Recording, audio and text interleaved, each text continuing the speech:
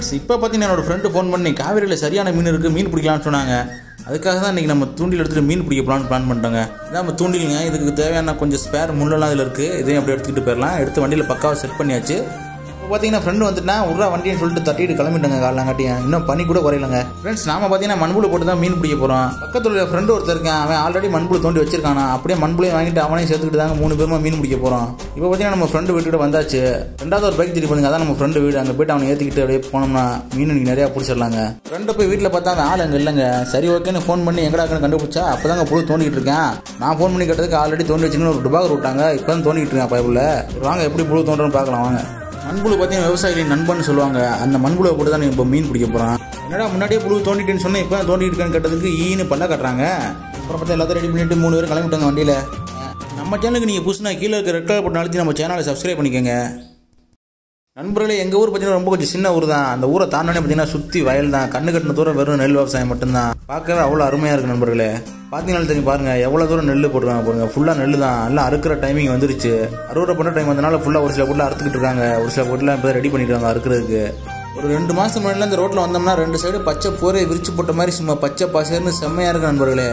எங்கள் ஊர்லேருந்து பார்த்தீங்கன்னா காவேரி ஒரு எட்டு கிலோமீட்டர் தூரத்தில் தான் இருக்கு நண்பர்களே. இப்போ பார்த்தீங்கன்னா நம்ம முக்கம்பு வந்துட்டோம் காவேரியோட கரையில் பார்த்தீங்கன்னா திருச்சி டு கரூர் போகிற பைபாஸ் ஒன்று இருக்குங்க. இன்னொரு சைடு கரையில் பார்த்தீங்கன்னா திருச்சி டு சேலம் போகிற பைபாஸ் இருக்குது இந்த ரெண்டு பைபாஸுக்கு நடுவில் தான் முக்கம்பு இருக்குது இந்த முக்கம்புல இருக்க பாலத்தொழியை தான் கரூர் மெயின் ரோட்லேருந்து நம்ம சேலத்து மெயின் ரோட்டை போய் ஜாயின் பண்ண போகிறோம் நண்பர்களே. முக்கம்லாம் வந்தீங்கன்னா நிறைய குரங்குகள் அட்டகாசம் ஓவராக இருக்குங்க. வண்டி டேங்க் கவர்லாம் வச்சு நீங்கள் பாட்டு பூங்காவை சுற்றி வைக்க போயிட்டீங்கன்னாக்கா டேங்க் கவரில் இருக்கிறது உங்களுக்கு இல்லைங்க. அது குரங்கு எடுத்துகிட்டு போயிட்டு தூக்கி போட்டுருங்கடாச்சு அதனால் சேஃப்டியாக வச்சுக்கோங்க பொருளெல்லாம். கர்நாடகாலேருந்து வர காவிரி ஆறு பார்த்தீங்கன்னா எங்கேயுமே ரெண்டு ஆறாக பிரியாதுங்க. முக்கம்புல வந்து ரெண்டாக பிரிக்கப்படுது. லெஃப்ட் சைடு பார்த்தீங்கன்னா ஒரே ஆறாக தான் இருக்கும். இது காவேரிங்க ஃபுல்லாக இதே ரைட் சைடு பார்த்தீங்கன்னா சென்டரில் ஒரு கரை வச்சு ரெண்டு ஆறாக பிரிஞ்சு போவாங்க ஒன்று வந்து காவேரின்னு ஒன்று கொள்ளிட சொல்லுவாங்க. இந்த டைமிங் வந்து அறுவடை செய்யணுங்கிறதுக்காக தண்ணியை ஸ்டாப் பண்ணி வச்சிருக்காங்க. தண்ணியை திறந்து விட்டு அறுவடை பண்ணுறது ரொம்ப கஷ்டமாக இருக்குன்ட்டு. இதுதாங்க நடுக்கரைன்னு சொல்லுவாங்க. இந்த நடுக்கரை வந்து ரைட் எடுத்து போனீங்கன்னா நேராக ஸ்ரீரங்கத்துக்கே போயிருங்க. இந்த நடுக்கரில் பார்த்தீங்கன்னா வீடுலாம் அழகாக இருக்கும். எதுக்காகன்னு கேட்டிங்கன்னா விஐபி யாராச்சும் வந்தாங்கன்னா அவங்க ஃபேமிலியோட தங்கி நல்லா முக்கம்பு சுற்றி என்ஜாய் பண்ணிட்டு போகிறதுக்காக தான் கட்டி வச்சிருக்காங்க. இங்கே பார்த்தீங்கன்னா குதிரையில் ஒருத்தர் உட்காந்துருக்க மாதிரி ஒரு சிலர் இருக்கு பாருங்க. இவர் தான் இந்த முக்கம்பு பாலத்தையே கட்டினது. பிரிட்டிஷ்காரங்க நம்மளை ஆட்சி பண்ணும்போது அந்த பாலத்தை கட்டினாங்க. அதனால் அவங்களோட சிலை தான் இங்கே இருக்குது அவரோட பேர் எனக்கு சரி சரியாக ஞாபகம் இல்லை மறந்துருச்சு. நெக்ஸ்ட் டைம் போகும்போது பார்த்து சொல்கிறேன் இல்லை உங்களுக்கு யாருக்காவது தெரிஞ்சுன்னா கமெண்ட்டில் சொல்லுங்கள் லாஸ்ட் டைம் வந்து பெரிய வெள்ளத்தால் பார்த்தீங்கன்னா அந்த பாலம் ஒன்று உடஞ்சிருச்சு. அதுக்கு பதிலாக தான் தமிழ்நாடு அரசு வந்து இந்த பாலத்தை கட்டியிருக்காங்க. லெஃப்ட் சைடில் இருக்க பாருங்களேன் அது அதான் வந்து உடஞ்சி போனது. இந்த பாலம் உடஞ்சதுக்கு அப்புறமா நம்ம முதல்வர் எடப்பாடி பழனிசாமி ஆட்சியில் தாங்க இந்த புது பாலம் கட்ட ஆரம்பிச்சாங்க. ஆனால் இந்த பாலம் கட்டி முடிக்கப்பட்டது பார்த்தீங்கன்னா தற்போதைய நம்ம முதல்வர் மு க ஸ்டாலின் அவர்கள் ஆட்சியில் தான் கட்டி முடிக்கப்பட்டு திறக்கப்பட்டுச்சுங்க. இது வந்து பார்த்தீங்கன்னா ஒரு அணைக்கட்டு தாங்க. அதனால கனரக வாகனங்கள்லாம் இதில் போகக்கூடாது. அதுக்காகவே ரொம்ப சின்னதாக தான் இந்த பாலத்தை கட்டியிருக்காங்க. ரைட் சைடில் தெரியுது பார்த்தீங்கன்னா இதுதான் கொள்ளிடங்கிறது இந்த கொள்ளிடம் பார்த்தீங்கன்னா காவிரி அதிக அளவு தண்ணி வரும்போது வெள்ளத்தால் நிறைய விவசாயம் பாதிக்கப்படாமல் இருக்கிறதுக்காக தண்ணியை கொள்ளிட வழியாக திறந்து விடுவாங்க. இப்போ பார்த்தீங்கன்னா நம்ம திருச்சி டு சேலம் பைபாஸ் வந்துட்டோம். இதில் லெஃப்ட் திரும்பி ஒரு பத்து கிலோமீட்டர் போனோம்னா தான் அந்த மீன்பிடி கடை இருக்குது வாங்க நம்ம போகலாம் இது பார்த்தீங்கன்னா பாசனத்துக்காக இந்த சைடு ஒரு சின்ன வாய்க்கால் இருக்குது அதில் தண்ணி தந்துடுவாங்க இந்த திருச்சி டு சேலம் போகிற பைபாஸ் இருக்குது பார்த்தீங்களா பார்க்க ரொம்ப அருமையாக இருக்கும் இந்த பைபாஸ் ஒரு கேரளா மாதிரி இருக்கும். செம்மையாக இருக்கும். பார்க்கவே நிறைய மரங்கள் அதுவும் இல்லாமல் அந்த காவேரி கரையிலேயே இந்த ரோடு போகும் ஃபுல்லாக வேறு லெவலில் இருக்குங்க பார்க்கவே. ரொம்ப நல்லா என்ஜாய் பண்ணலாம் அந்த ரோட்லாம் வந்தோம்னா. அப்புறம் இந்த லாரியை பார்த்துருக்கீங்களா? சின்ன வயசுலேருந்து லாரியை பார்த்தா எனக்கு ரொம்ப பயமாக இருக்கும் ஆனால் இது வரைக்கும் இந்த லாரியில் என்னதான் இருக்குன்னு தெரில இதுக்குள்ளே என்ன வச்சு கொண்டு போகிறான்னு உங்களுக்கு தெரிஞ்சால் கமெண்ட்டில் சொல்லுங்கள் நான் சொன்ன மாதிரி இந்த ரோடு ரொம்ப அழகாக இருக்குது பார்த்தீங்களா இது வந்து பார்த்தீங்கன்னா டூ வே ரோடு தான். ஒன் வே ரோடுலாம் கிடையாது.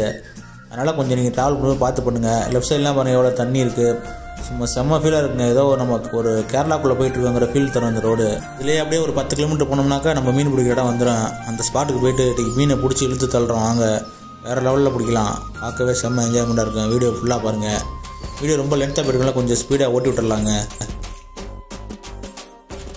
இப்போ ஒரு வழியாக வந்து பார்த்தீங்கன்னா நம்ம வண்டி நிப்பாட்ட இடத்துக்கு வந்துட்டோம். இதுக்கு மேலே நம்ம வண்டியில் போக முடியாது. ஏன்னா ஆறு ஃபுல்லாக மணலாக தான் இருக்கும். அதனால் அதை வண்டி ஓட்டிட்டு போகிறது ரொம்ப கஷ்டமாக இருக்குங்க. உங்கள் ரெண்டு ஃப்ரெண்ட்ஸ் இவங்க தாங்க பார்த்துக்குங்க. பார்க்க வேற லெவலில் இருக்காங்க இருப்பாங்க இதான் ஃபஸ்ட் வீடியோ இருக்கனால ஹாய் சொல்ல சொன்னால் ஒரே வெக்கத்தை பார்த்தீங்களா? இதுக்கப்புறம் வண்டி நிப்பாட்டி ஆற்றுல நடந்து போகலாங்க நண்பர் ஒருத்தர் முன்னத்தால வேகமாக போயிட்டு இருக்காரு வீராப்புலி மாதிரி. ஆனால் நம்ம போக வேண்டிய தூரம் பார்த்தீங்கன்னா ஒரு கிலோமீட்டராக இருக்குங்க. மணல்லே போகணுங்க காலைல வலிக்க ஆரம்பிச்சிடும் அந்தளவுக்கு தூரம் போகும் நடந்து போகணும். இங்கே வந்து பார்த்தீங்கன்னா அந்த காவேரி ஆட்டிலேருந்து தண்ணி எடுக்கிறாங்க பார்த்தீங்கன்னா குடி தண்ணீர். அதுக்காக போர் ஒன்று ரெடி பண்ணிட்டு இருக்காங்க. அதுக்கு வந்து ஜல்லி சிமெண்ட் எல்லாம் லாரி வந்து கொண்டு போனதுக்காக பாதை ரெடி பண்ணிட்டு இருக்காங்க. ஏன்னா வெயில் வேறு நீங்கள் அடிக்குதுங்க. என்ன மீன் எந்தளவுக்கு மாட்டோம் என்னன்னு தெரில வெயில் வேறு தாங்க முடியாதுன்னு தெரில வேறு லெவல் வெயில். இந்த வெயில் டைம்லலாம் மணலில் செருப்பு இல்லாமல் நடந்தோம்னா காலை வெந்து போகிற அளவுக்கு சூடாக இருக்குங்க. ஆனால் நாங்கள் செருப்பு தான் வந்திருக்கோம். இந்த இந்த இடத்த பாருங்க. இங்கே தான் வந்து இந்த போர் ரெடி பண்ணியிருக்காங்க இருக்காங்க. கட்டியிருக்காங்க தெரியுதுங்களா? இதுக்கு வந்து கம்பி ஜல்லி சிமெண்ட்டெல்லாம் கொண்டு வரக்காக தான் அந்த பாதை ரெடி பண்ணிட்டு இருந்தாங்க. இது வந்து பார்த்தீங்கன்னாக்கா ஒரு டைமில் காவேரியில் மணம் அடிக்கும்போது ரீச் போடுவாங்க பார்த்தீங்கன்னா அந்த ரீச் தாங்க இது- இந்த இடத்துல ரீச் மாதிரி போட்டு அணை மாதிரி போட்டு இந்த மாதிரி காவேரிக்குள்ளெலாம் அந்த மாதிரி காட்டுக்குள்ளே போகிற மாதிரிலாம் போகும்போதெல்லாம் மனசுக்கு ரொம்ப பயமாக இருக்குங்க. ஆனால் அதில் ஒரு சுவாரஸ்யமும் இருக்கும் செம்மையாக என்ஜாய்மெண்ட்டாக இருக்குங்க. தெரியுது பார்த்தீங்களா மண் மாதிரி இதெல்லாம் மண் கிடையாதுங்க. ஃபுல்லாக மணல் தான். சொல்லப்போனால் நம்ம இப்போ பணத்து மேலே தான் நடந்து போயிட்டுருக்கோம். ஏன்னா அவ்வளோ ரேட்டு விற்கிது நீங்கள் மணல். ஃபுல்லாகவே மணல் தான். ஆனால் இப்போ கவர்மெண்ட்டில் இதெல்லாம் கூட ரொம்ப தடை போட்டுட்டாங்க. அதனால் இப்போல்லாம் யாரும் அல்றதே கிடையாது. கண்ணு கட்டின தூரம் மணல் மட்டும்தாங்க இருக்கும் காவேரியில். இது வந்து பார்த்திங்கன்னா க நம்ம போகிற இடத்துக்கு முன்னாடி ஒரு சின்ன ஆறுங்க. இப்போ பார்த்திங்கன்னா தண்ணி ரொம்பவே கம்மியாக இருக்குது இதுக்கு முன்னாடி அந்த பழம் கழுத்து தண்ணி போகும். இதில் நடந்தே போக முடியாது. அந்த ஊதா கலர் பை கொண்டு போகிறான் பார்த்தீங்களா அந்த பையன் தண்ணியை அடிச்சுக்கிட்டே ஒரு டைம் போயிட்டான். அப்புறம் நானும் இன்னொருத்தர் தான் போய் நீச்சல் அடிச்சு போய் அவனை பிடிச்சி இழுத்து கரையை கொண்டு வந்தான். தண்ணி அதிகம் போகிறப்ப எனக்கு வீடியோ எடுத்து போகணும் ரொம்ப ஆசைங்க. ஆனாக்கா அப்போ தண்ணி ஓவராக போகிறனால ஃபோன் தண்ணியில் விழுந்துச்சுன்னா வீணாக போயிடுமேட்டு ஒரு பயத்திலே வீடியோ எடுக்காம விட்டாச்சு. இப்போ பார்த்தீங்கன்னா தண்ணி ரொம்பவே கம்மியாக தான் வருது. காவேரியில். அதனால தான் இப்போ வீடியோ எடுத்து போகலான்ட்டு வந்திருக்கோம். காவேரியில் பார்த்தீங்கன்னா தண்ணி நல்லா ஃபில்டராக பண்ண தண்ணி மாதிரி கண்ணாடி மாதிரி இருக்குங்க. ரொம்ப ஜில்லுன்னு ஜில்லு ஜில்லுன்னு இருக்குது செம்ம கூலிங்க வெயில் அடித்தாலும் இந்த தண்ணி கூலிங் வேறு லெவலில் இருக்குங்க. இந்த மாதிரி தண்ணியில் நடந்து போகிறதே செம்மையாக இருக்குங்க ஃபீலு வேறு லெவலுங்க இதை தாண்டி போனால் கொஞ்சம் தூரத்துக்கு மறுபடியும் மணல் நடந்து போகணுங்க. அதை தாண்டி போனால் தான் அந்த குழி இருக்குது அங்கே தான் மீன் நிறையா நிற்கும் இந்த மாதிரி லைட்டாக கொஞ்சமாக போகிற தண்ணியெல்லாம் மீன் அதிகமாக இருக்காது. அதனால் இங்கெல்லாம் மீன் பிடிக்கிறது வேஸ்ட்டுங்க டைம் தான் வேஸ்ட்டு அதனால் அந்த குழியில் போய் தான் நம்ம மீன் பிடிக்க போகிறோம் தண்ணி ரொம்ப குறைஞ்சனால அந்த குழியில் கூட வலையை விட்டு மீன் பிடிச்சிருந்தாங்கன்னா மீன் இருக்காதுங்க. பிடிச்சிட்டாங்களா என்னன்னு தெரில இவ்வளோ தூரம் ட்ராவல் பண்ணி வந்ததுக்கு ஆளுக்கு ரெண்டு கிலோ மீன் கிடச்சா தான் கொஞ்சம் திருப்தியாக இருக்கும் நல்லதே நடக்குன்னு நம்பி போய்கிட்டு இருக்கான் கிட்டத்தட்ட பதினஞ்சு நிமிஷமாக காவேரிக்குள்ள நடந்து வந்துகிட்டு இருக்கேன் வெயில் தாங்க முடியல. வேறு லெவலில் இருக்குது வெயில். இப்போ பார்த்தீங்கன்னா ஆல்மோஸ்ட் நம்ம அந்த குழியை நெருங்கி வந்துட்டோங்க. போயிட்டு தூண்டியை போட்டு நீங்கள் மீன் பிடிச்சி இழுத்து தெரியலாங்க வாங்க. அதுக்கு முன்னாடி ரொம்ப பசிக்குது. இந்த ஆரஞ்சு கிலோ பையில் பார்த்தீங்கன்னா அங்கே சாப்பாடு தான் வாங்கி வச்சுருக்கோம். டோட்டலாக பார்த்தீங்கன்னா இன்றைக்கி ஒரு நூற்றம்பது ரூபாய்க்கு சாப்பாடு நூறுரூவாய்க்கு பெட்ரோல் போட்டுருங்க இரநூத்தம்பது ரூபா. இந்த இரநூத்தம்பது ரூபாய்க்கு மீன் வாங்கி கூட சாப்பிட்டுருக்கலாங்க ஆனால் இந்த மாதிரி தூண்டில் பிடிக்கிற அளவுக்கு ஒரு சுவாரஸ்யமாக ஒரு சந்தோஷம் கிடைக்காதுங்க. அது ஒரு தனி என்ஜாய்மெண்ட் தாங்க. அதனால் தூண்டில் தாங்க நாங்கள் எப்பவுமே மீன் பிடிச்சி சாப்பிடுவோம். பார்த்தீங்கன்னா இங்கே தாங்க மீன் பிடிக்க போனோம். எவ்வளோ தண்ணி போகுது பாருங்கள் சரியான ஆளுங்க. இதெல்லாம் போனோம்னா நம்ம த தலைக்கு மேலே தண்ணி போகும் மூழ்கி போயிடுவோம் அதுவும் வேறு காவேரியில் முதல்ல இடையில ரொம்ப பேர் பயமுறுத்துறாங்க. எந்த அளவுக்கு உண்மைன்னு தெரில இருந்தாலும் நாங்கள் ரொம்ப சேஃப்டியாக தாங்க இருப்போம். இதில் கிராஸ் பண்ணிக்கிட்டலாம் வரவே முடியாதுங்க. அந்த சைடில் இந்த சைடு ஆனால் அந்த சைட்லேருந்து நாங்கள் இந்த சைடு வரணும்னா தாங்க ரொம்ப பக்கமே. இவ்வளோ தூரம் சுற்றிட்டு வர தேவையில்ல. ஆனால் அந்த சைட்லேருந்து இங்கிட்டு வர முடியாத அளவுக்கு தண்ணி ரொம்ப ஆழம். சரி வாங்க போயிட்டு சாப்பிட்டுட்டு மீன் பிடிக்கலாங்க. நானும் ஃப்ரெண்டு சாப்பிட்றப்பலான்ட்டு போகும்போது இன்னொருத்தர் மட்டும் நான் ஃபஸ்ட்டு மீன் பிடிக்கிறேன் அப்புறம் சாப்பிடுறேன்னு சொல்லிட்டு மீன் பிடிக்க இறங்கிட்டாருங்க கீழே. உன் ஆர்வ குழந்தைக்கு ஒரு அளவே இல்லைன்னு சொல்லிட்டு நாங்கள் ரெண்டு சாப்பிட போயிட்டாங்க. என் ஃப்ரெண்டு பார்த்தீங்கன்னா பையன் தூக்கிட்டு நான் சாப்பிட்டு தாண்டா வருவான்ட்டு போயிட்டாங்க. சரி ஓகே இருங்க. அவன் ஃபஸ்ட்டு பேசட்டும் மீன் மாட்டு தானே உங்கள்கிட்ட ஒரு டைம் காட்டுறேன். அதுக்கப்புறம் கூட நான் சாப்பிட்டுக்கிறேங்க. தண்ணி கிண்ணி பார்சலோட ரெடியாக வேண்டாம் பாருங்க தலைவன் வேறு லெவலுங்க இங்கே ஒருத்தர் பார்த்தீங்கன்னா மீன் பிடிக்க வந்த மீனை தான் ஃபஸ்ட்டு பிடிக்க கொண்டு தூண்டில் போட ஆரம்பிச்சிட்டாரு மண்புழு எப்படி தூண்டில் முள்ள கோக்குறான்னு நான் கிட்டத்தில் போய் காட்டுறேன் வாங்க. இவர் வந்து பார்த்தீங்கன்னா இந்த ஒரு ஹாலாவாக இருக்க தூண்டி வச்சுருக்காரு. இதில் வந்து பார்த்தீங்கன்னா ரொம்ப வெயிட்டான மீன்லாம் பிடிக்க முடியாது. ஓரளவுக்கு வெயிட் மீடியமான வெயிட் மீன்லாம் பிடிக்கலாம். ரொம்ப வெயிட் அதிகமாக பிடிச்சோம்னா உடஞ்சிடும் தூண்டில் நிறைய வெரைட்டி இருக்குது நீங்கள் வாங்குறதுக்கு முன்னாடி நல்லா விசாரிச்சுட்டு டீட்டெயிலாம் கலெக்ட் பண்ணிட்டு வாங்க. மண்புழு பார்த்தீங்கன்னா பிடிச்சி வச்சுருக்கா பார்த்தீங்கன்னா அது இடத்துக்கு முள்ளில் எப்படி கோக்குறாருன்னு பாருங்கள்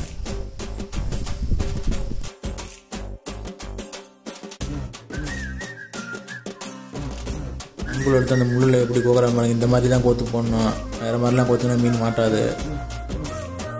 அதுக்குள்ளார ஃப்ரெண்டு ஒருத்தர் தூரத்தில் பாடுற முதல்ல தெரிய சொல்லி பயமுத்திட்டாருங்க நம்ம நண்பன் பயந்துட்டா அப்படி ரொம்ப. அப்புறம் பார்த்தா அது ஏதோ ஒரு முள் கொத்துங்க. முதலையெல்லாம் இல்லை.